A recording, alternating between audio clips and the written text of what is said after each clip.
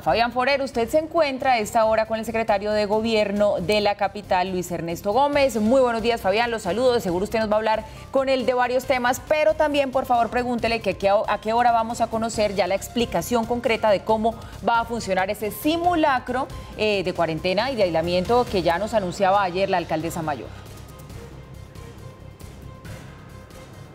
Buenos días, Paula y televidentes. Nos encontramos con el secretario de Gobierno, Luis, Ernesto Gómez. Secretario, muy buenos días, secretario. La pregunta que se hacen todos los bogotanos, ¿cómo va a funcionar este aislamiento obligatorio? ¿A partir de cuándo? ¿Qué restricciones eh, van a haber? Lo primero es que nos tomemos muy en serio lo que está pasando, no solo en Bogotá, sino en todo el mundo. Esta es quizás la amenaza eh, sanitaria y económica más importante y más delicada de nuestros tiempos y por eso tenemos que preparar a Bogotá, una ciudad de más de 7,2 millones de habitantes, para un eventual aislamiento en casa, aislamiento obligatorio prolongado, como está ocurriendo ya en otros países.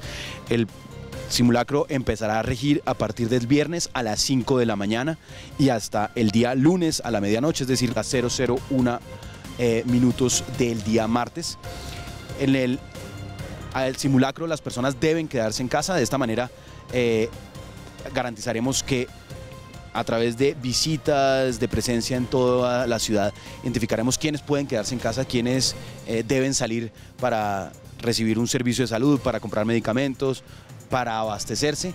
Eh, también tendremos por parte de la alcaldía la prestación de servicios sociales esenciales al adulto mayor, habitante de calle, personas vulnerables, aquellos jóvenes, niños que están yendo al colegio y que no pueden hacerlo y que requieren de un suplemento y de, un, eh, de una mesada escolar alimentaria.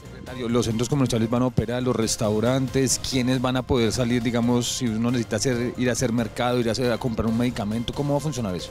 Entonces, esto se trata de un simulacro para prepararnos con protocolos muy claros en el eventual aislamiento en casa prolongado.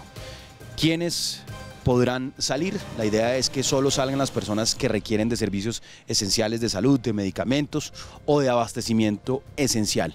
No se trata de un eh, fin de semana normal, no se trata eh, de un día cotidiano donde yo salgo al restaurante, donde me encuentro con amigos en el centro comercial deben estar cerrados restaurantes, deben estar cerrados establecimientos de comercio. La alcaldía ya ha tomado la decisión de cerrar eh, teatros y encuentros y espacios de encuentro cultural. Secretario, si no lo ven en la calle, lo, lo pueden montar.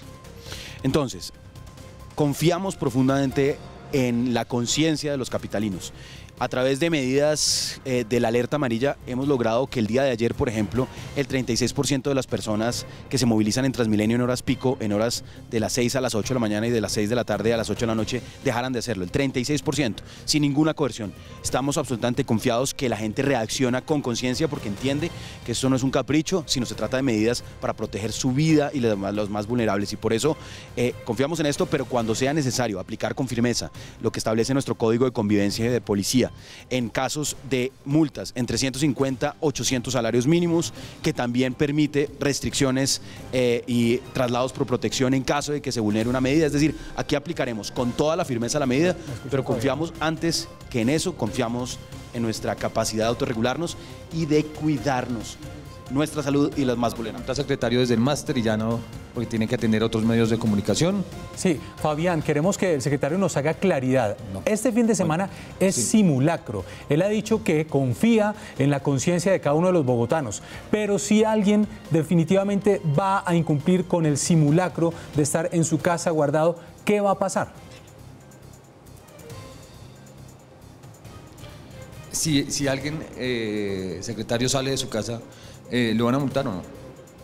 Entonces, a partir del viernes a las 5 de la mañana y hasta el lunes a la medianoche, deben quedarse en casa. Esta es la instrucción y al igual que en un toque de queda, digamos, aquí no queremos tener ese término tan severo, pero a lo mismo que en un toque de queda, la restricción de movilidad está contemplada por el Código de Policía, está contemplada por las medidas extraordinarias que ha decretado el presidente y la alcaldesa. Secretario, muchísimas gracias. Mira, hay que decir también que la Secretaría de Gobierno, específicamente el secretario, ha denunciado que en algunas localidades de Bogotá, sobre todo en Suba, se están promocionando fiestas que han llamado el Corona Party, eh, fiestas que son totalmente ilegales, fiestas que van en contravía de las medidas que que ha dicho la alcaldesa Claudia López de protocolo. Los controles van a estar por parte de las autoridades para evitar que hayan aglomeraciones de más de 50 personas. Es la información desde el sector de Chapinero en el oriente de Bogotá. Fabián Frero, Red Más Noticias.